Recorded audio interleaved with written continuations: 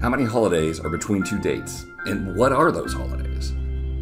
Hey, welcome back to the Mr. Excel Netcast. I'm Bill Jelen. A question sent in after my video last week uh, said, how many, how many days are holidays in a date range and which days are holidays in a date range? Now, I'm pretty excited about this.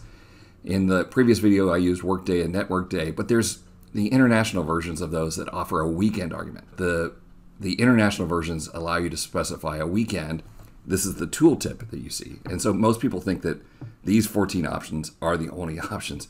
But there's another way to do this, the seven digit binary method.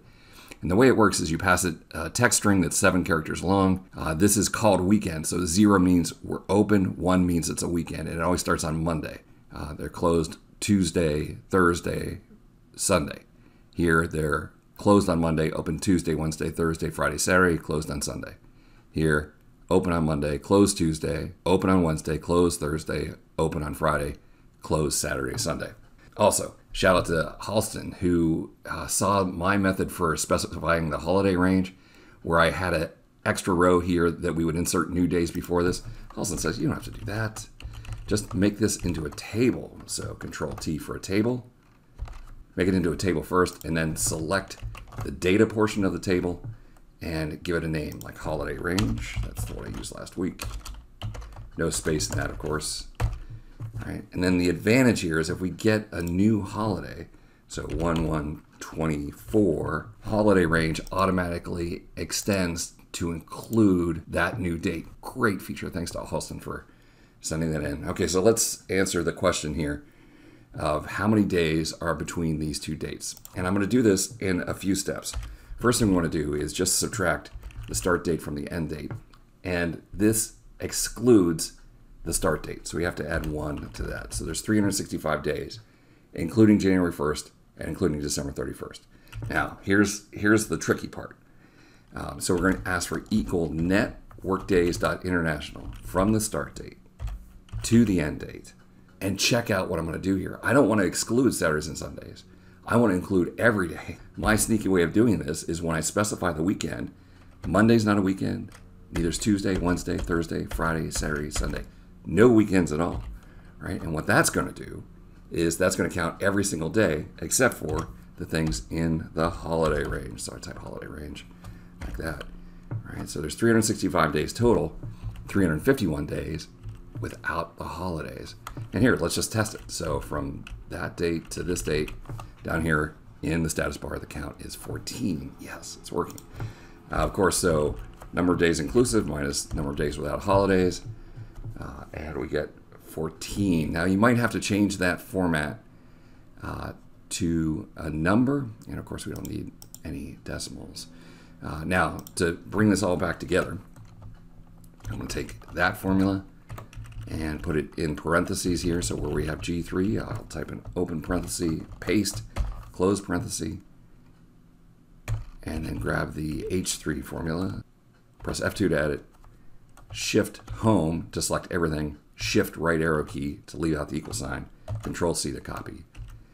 And then here where we have H3. All right, so there we go. That's our formula to figure out how many holidays. All right, but then when I went back to the original question, uh, it wasn't clear if they were looking for how many holidays or the list of holidays. So let's say that we're looking for the list of holidays. This is a great new function. Came along in September of, of uh, 2019. Uh, we want to filter the holiday range and the include thing. We want to have two things. I want to join them with an and. So the first thing I'm going to put in parentheses, I want to say that the holiday range is greater than or equal to our start date, close parentheses, and then a multiply.